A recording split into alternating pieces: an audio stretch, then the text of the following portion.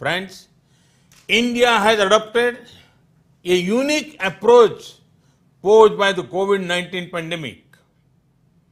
We have given relief and stimulus package for the poor and the small businesses. But we have also used this opportunity to undertake structural reforms. These reforms ensure more productivity and prosperity.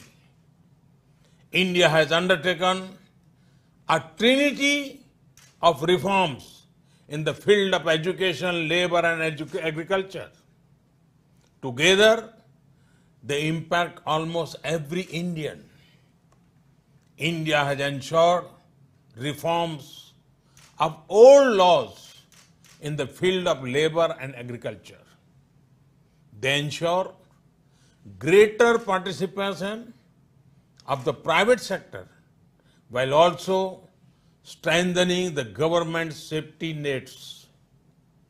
These reforms will lead to a win-win situation for entrepreneurs as well as for our hard-working people. The reforms in the field of education will further harness the talent of our youth. These reforms have also set the stage for more foreign universities to be able to come to India. The reforms in the labor laws greatly reduce the number of labor codes.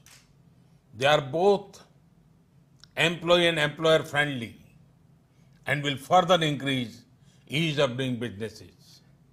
The reforms in the field of agriculture are far reaching. They will not only give more choice to farmers, but will boost exports. These reforms will support our efforts to build an Atmanirbhar Bharat or self-reliant India. By working towards self-reliance, we seek to contribute to global good and prosperity. Friends, if you are looking to partner in the field of education, the place to be is India.